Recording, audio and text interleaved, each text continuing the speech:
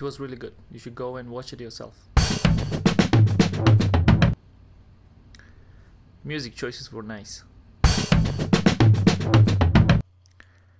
Editing was impressive.